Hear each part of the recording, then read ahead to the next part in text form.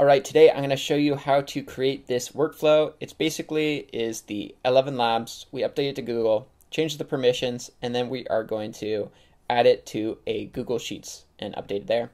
So let's get straight into it. We're going to save it. We're going to go to the overview. We're going to create a workflow and we're going to have a trigger manually. And then the next thing we're going to do is add data transformation and edit fields. So this is where you would get your script, and you can use ChatGPT for this or do whatever you want. We're just going to manually map it, manually map it, call it script, and then say like and subscribe, please. And that looks good. So now we're going to the meat and potatoes, which is the HTTP request to ElevenLabs. So for, I already pulled up the documentation, which is right here we are going to be doing the text to speech, create speech endpoint, and this is the URL. So let's first get the URL. And as we can see, it's also a post. So we're going to change the get to a post.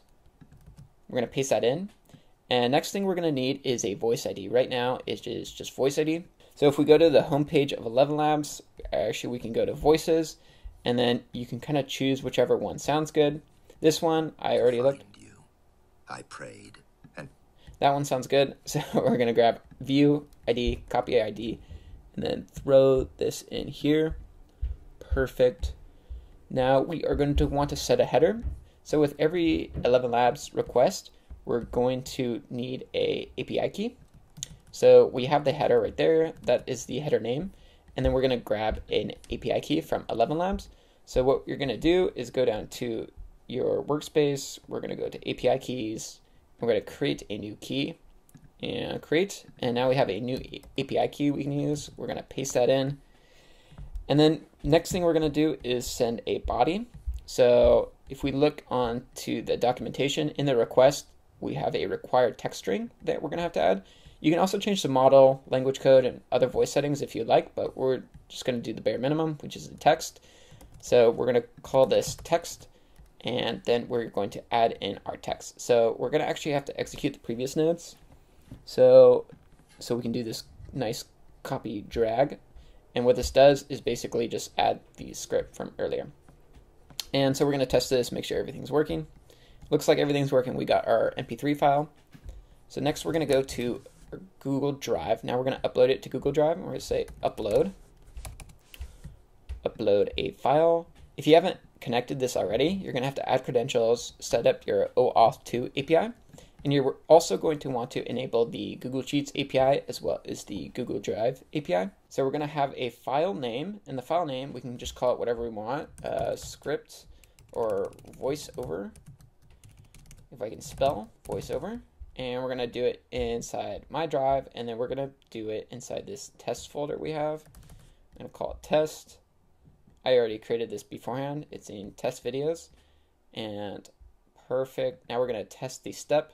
So you want to test it, make sure if it's working. And, and as we can see, the voiceover popped up. Next thing we're going to do is change the permissions for it. So we're going to go add another step. We're going to do Google Drive and we're going to say update. We're going to update the file. So we have the Google Drive account already connected. And we're going to, instead of update, we're going to actually share so change the permissions so it's easier for us to handle the file. Um, and we're going to select the file by ID, which we already uploaded.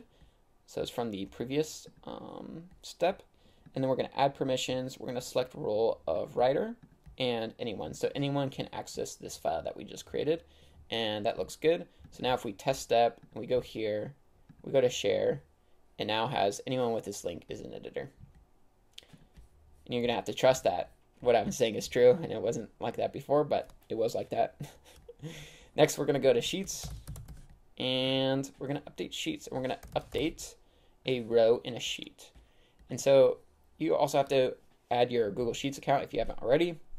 We are going to update a row. That looks good. We're going to update a document. We're going to do the YouTube SOP. I already have it pulled up right here. And from the list, if you have multiple tabs, this helps with tabs and we're going to map each column manually. So we want to change the column to match on.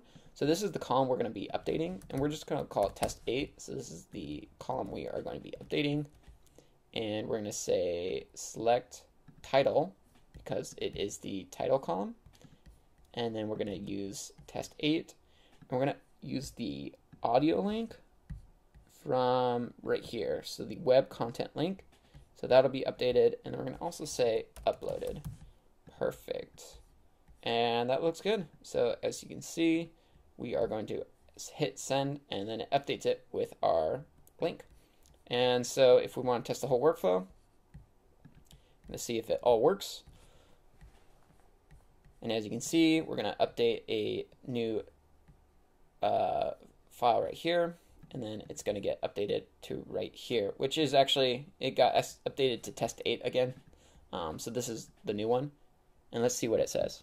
Like and subscribe, please. Oh,